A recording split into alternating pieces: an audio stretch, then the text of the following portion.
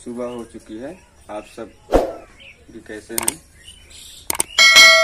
चलो हम अब दूध लेकर जाएँगे डेयरी पे। आपको रास्ते मिलेंगे या वहाँ पे चलेंगे वहाँ मिलेंगे तब आपको बताएँगे। सॉरी भाई अब अगले दिन आपको दिखाएँगे भैंस कैसे लगाया जाता है। और तो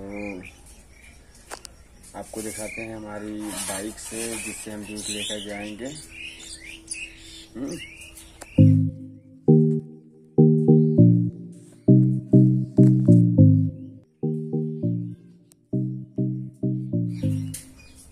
बाइक और हम जाएँगे महाराजगंज दूध लेके डेयरी पे। पंजाबी टोपी लेने के लिए।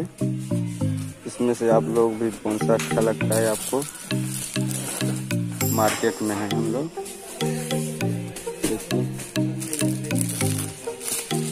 सोच रहे हैं कौन सा लें कौन सा अच्छा लगेगा।